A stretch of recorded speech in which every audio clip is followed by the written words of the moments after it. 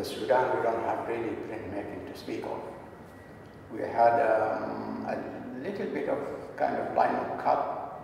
Um, there is no, there wasn't any wood to use, nor uh, etching.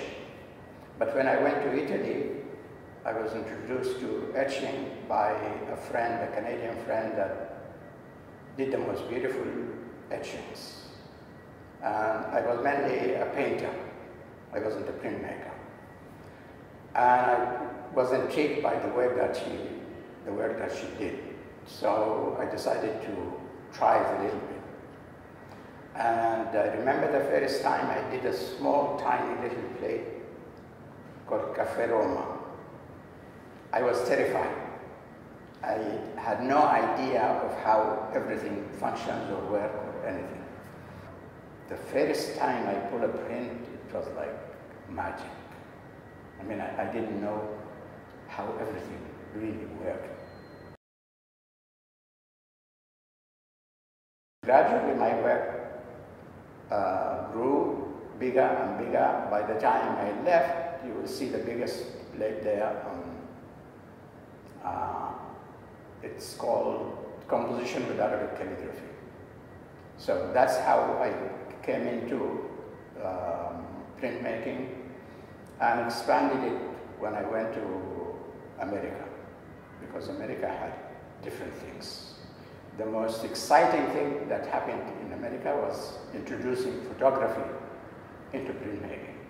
You try and make something that doesn't go and you learn from your mistakes. In fact, I say that in printmaking, you don't make mistakes because you can take everything out, add to it, and develop it and you get more exciting things. So that's how I developed it. And through printmaking, I learned more about painting. I would say that printmaking really developed my painting to a better level. I work very fast when I know the subject and uh, what I'm doing with the image. But the plate really tells me how to proceed with it. I mean, I could make a hundred sketches. When I start doing a print, and I never do make a sketch for a print, I start the print directly. But if I do, it never follows the, the, the sketch. It takes a life of its own. In printmaking, if you make like if you just float somewhere else, you make a mistake. It's a, a, mechanical, technical thing. You have to really concentrate and just pay attention to what you're doing. Black and white, for me, is the classic way. And it's the richest um, medium, the richest color for me in all the printmaking. Color is fascinating and kind of like deceiving rather than giving you the actual reality of the object or the subject that you're doing. And it has a, a richness that, that I don't see in color. With black, you can go into the deepest black and the lightest tone in a few seconds. And you get the richness that and the mystery also carries mystery for me. And um, tonality is the essence of black and white. You have to learn tonality. That's actually how i learned about painting through uh, doing black and white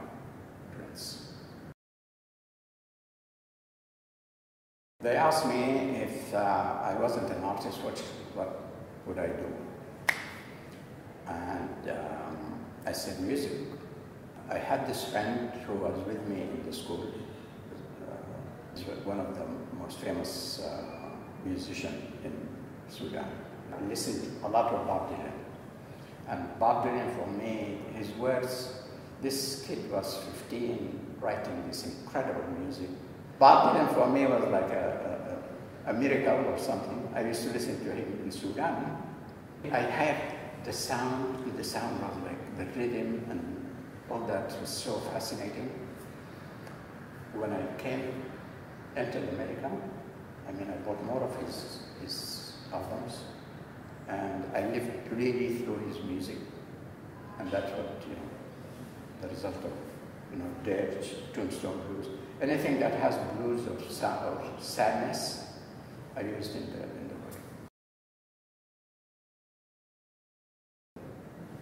Asila happened by chance. As I said, I never um, thought of Asila, but Asila thought of me.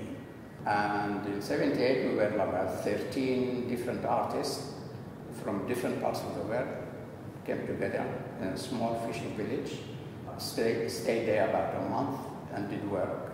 I continued with Asila for about 22 years. And then I stopped. I, uh, I, I decided that somebody else from Morocco should continue with this project and, and deal with the, the studio because I ran it for 20, 20. Actually, it was 27 years, not 22 years. Yeah. And um, that's my contract with Asila. So it was, it was an experiment that was, it opened really uh, a world for me and for them because they never had anything in printmaking or knew anything about printmaking.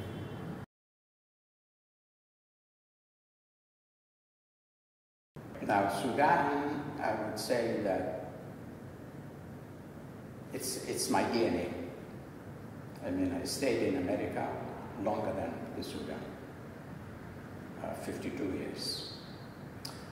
And still, I feel it in all my body. And it comes through my fingers. Everything, I can recall it, I can live it while I'm doing. The subject, whether I'm doing it in, in America or here in London or in Australia, depending all on the atmosphere and what I'm living. But I'm Sudanese, it comes through me. That's what makes it Sudanese. Well, because I did uh, this uh, thing of Asila in 78 and till, you know, 27 years later, I said, why can't I do that in my own country? I mean, what's stopping me? Except money, which is the devil of all devils. So I decided whatever I make, I send there and try and make a studio for Sudanese artists, children, and whoever is willing to come and live.